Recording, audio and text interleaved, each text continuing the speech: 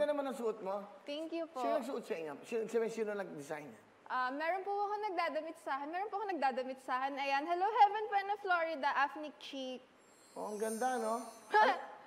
Thank you po. Oo. A- anong masasabi mo sa damit niya? Sa'yo, oh, bagay naman.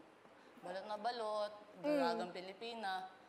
Pero ano eh, iba yung pinapakita ng panlabas sa panloob. Ano ba yung, ano ba yung tinutukoy mong panloob?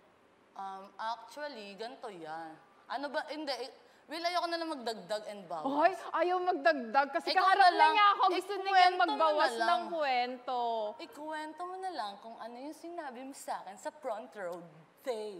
Ano ba yon? Ano ba sinabi ko sa'yo? Sinabi, na-offend ka ba na sinabi ko baka mawalan ka ng career? Hindi pa yun. Oh my God, hindi yun. Hindi, wal- aside from that, wala na ako natatandaan. Ay, Hindi saksi nagmamark si sa akin kung ano man yung pinagdaramdam mo. Ayan, ayan, bago mo kasi Para tayo nasa barangay hall. Alam mo kasi, bago... Tama ako, kapitan niyo. Okay. Okay. O, hindi niyo pa maaayos to. Kapitan kasi ito, Ayusin niyo na to. Tatuwain ko sa mayos ko. Ayusin niyo na to. Ayos na meron kayo. kasi ito, ay kapitan pala ito kasi... O, may tanong ako sa'yo. Ah. Oh, tatanggapin mo ba kung maging isang part ng guest ko Oo sa nito? naman, oo, oo, Will. Eh ako, hindi, wala naman ako sinasabing masama sa kanya. Siya yung nag-umpisa, so... So ano nga Di yung na, sinabi ko nire-ready sa'yo? ko Sige. lang. Ah, yan. Sige, ano yung sinabi ko sa'yo para marunong naman ako mag-apologize at umamin sa mali ko. Pero hindi ko kasi talaga alam. Kasi sa ganito yan, di ba? Sabi mo, sa front row, lahat maganda. Parang hindi ka na... hindi, hindi ka nag-agree sa akin. Kita nga lang nga lang. Ganun ba? Pag Girl, you... alam mo, sobrang sensitive mo. Yun lang. Ayaw Hello, mo ba? tinawag mo lang naman akong squatter, so tawag niyo sa inyo social, so sa amin low class. So, Girl. girl, girl, ganun kasi ako nakilala, so kailangan ko babaguhin yung sarili ko para sa'yo. So huwag ka ma-offend pagka sinabi ko na, oh my God, ang hirap naman mag-explain sa'yo. Sobrang hirap mo makaano. Ikaw, ano man tawag sa'yo dito? Aside from hipon, tinatawag siyang squammy. So, I'm proud. I'm Oh, proud, proud to siya. be Ba't ka a squammy. na-offend? Anong Dahil problema un- mo? coming from you kasi. na, Tagasang ka, tagasang ka ulit. taga Sampalo. O hindi ka taga doon. Balita ko, hindi ka taga O, doon. taga yeah, ba? Umuwi Taga ako. balita ko, taga Pasig yan eh. Oo. Kumuha lang ng lugar.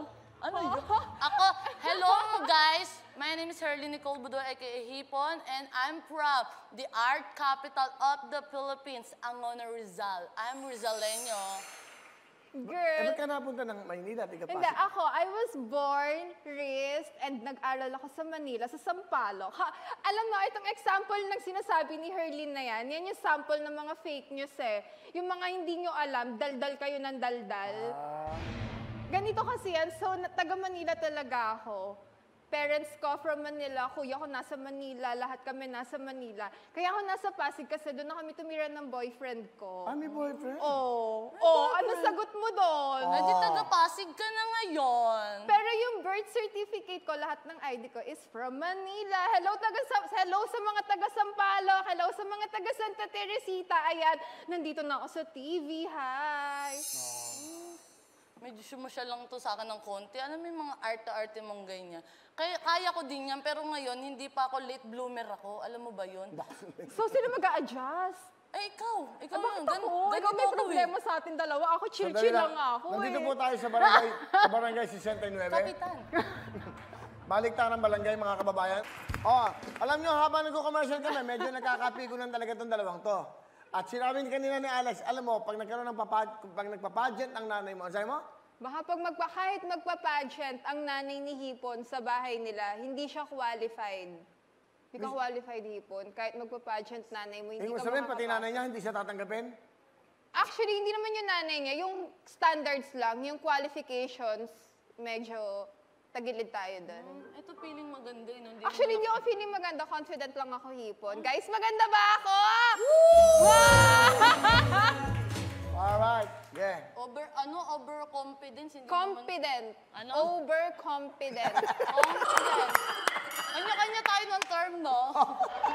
Akin tong term, pinakialaman ko ba term mo? o, one minute para kay Manila. O, tapos ka na. Ako naman. Hindi Sige. naman nanalo. Okay, no? one question. Sakali, sa pang pagkakataon na ito, ano pwede mong gawin sa ating mga kababayan? Ito, magsimula kay Hipon. Nakabutihan sa ating mga kababayan. Go. Eto, saan po yung camera ko? Yan. Yan. Hello po sa inyo lahat, mga kaskwami, mga kaipunatics ko dyan, mga kapuso ko dyan. Ang sinasabi ko lang po sa inyo, kahit hindi ka kagandahan, basta maganda ang kaugalian mo, mamaling ka ng tao. Yan lang ang akin para ipalaganap sa buong mundo na kabutihan ay ang number one. Dahil hindi, hindi ka magiging maganda kung masama yung ugali mo. Kailangan mo makisama sa kapwa mo, sa mga taong nakapaligid sa'yo. Hindi mo kailangan mag... Time is up. Ang Ang tanong ko sa'yo. si- ang daming sinabi. Eh. Ang tanong ko sa'yo, may pinapatamaan ka ba? Oh, wala. Matamaan, wala. Okay. matamaan. Oh, It's your turn. Bato sa langit! Okay. Okay, it's your turn, Miss Manila. What can you do at this point in time?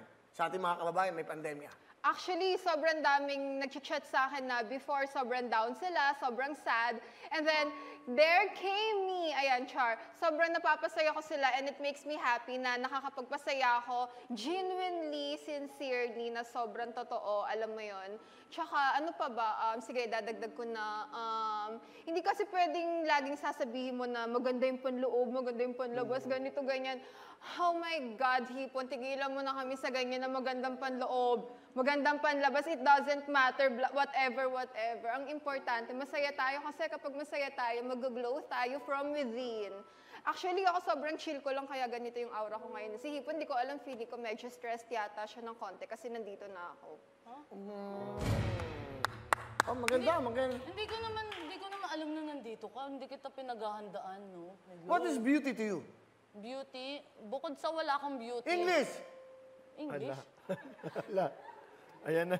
Beauty. Ayan, may coach, may coach. May interpreter ka ba? May coach. Ah, interpreter sa pageant, Oh, pwede oh, ako. pwede, Pwede, pwede, pwede. Sige, sige. Magaling ka, ako interpreter. Oh, sige, go. Ang, ano, What ang, is beauty? English!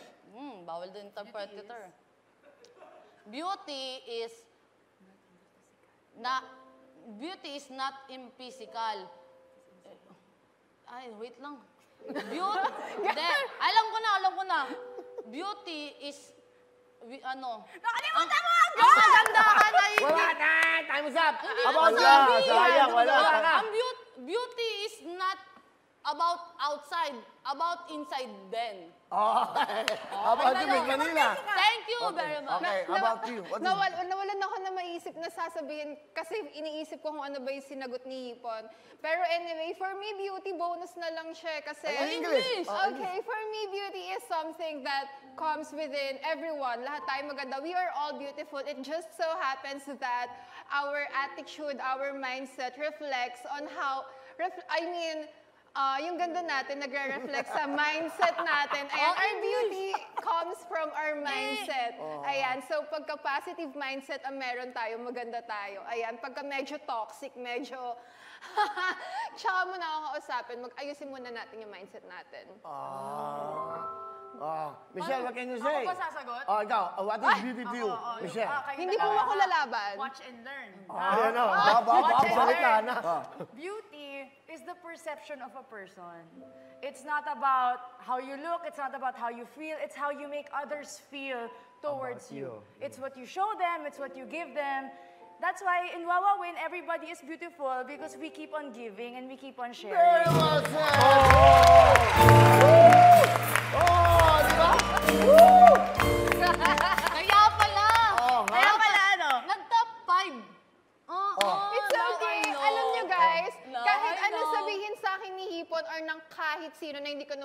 nanalo, whatever, whatever, blah, blah, blah, wala akong pakialam sa sinasabi nyo. Alam mo ba, si Michelle sobrang down to earth. It's never, okay. Never niya akong inano, sinabihan ng kahit ano masama.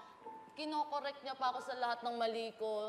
Samantalang ikaw. May sinabi ba sa'yo si Manila nung shooting natin? Kaya na nga, ang masama? problema nito, Direk. Sabi sa akin, ano daw, squatter daw ako. Dapat daw pang... Kasi lumapit siya sa'yo, sinabi niya sa'yo. Hindi, sumabi daw, dapat dito is, ano, social, gumanon siya. Daw, narinig ni Sir Sam, na nakwento naman sa atin, na tama Oh, bilang mga referee, Kuya RS, ano ang masasabi mo sa hidwaan na to? Diyos ko, Michelle. Ako ang sa akin dahil Pasko naman, Christmas season. Oh. I think it's talagang panahon para let, let go of whatever misconception, misunderstanding, that miscommunication that we have. At let's show love. Let's give love to one another.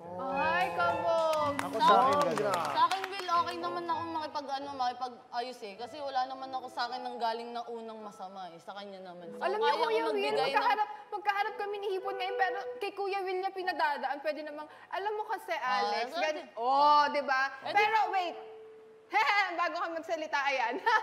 kasi katatapos na ni Derek magsalita, actually, wait. Ayan.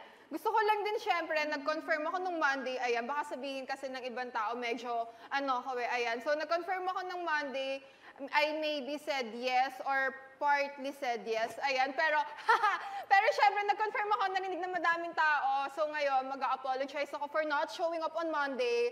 Last Monday, personally, live dito, maririnig niyo lahat, Kuya Will, sorry.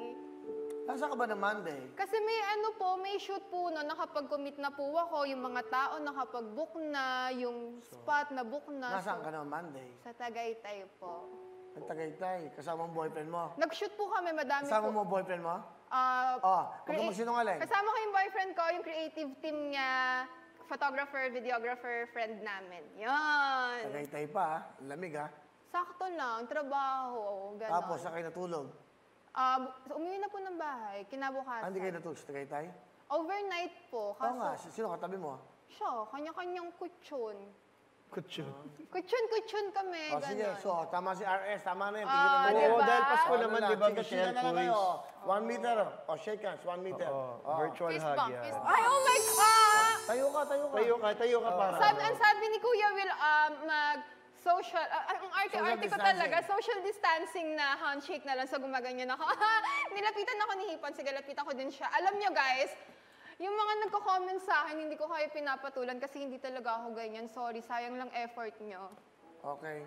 Ayan Sino? na. Galit na Dahil si, Pasko galit na si naman. Kapitana. Galit na si Kapitana, magbabati na kami ni Hipon. Alright. Yes!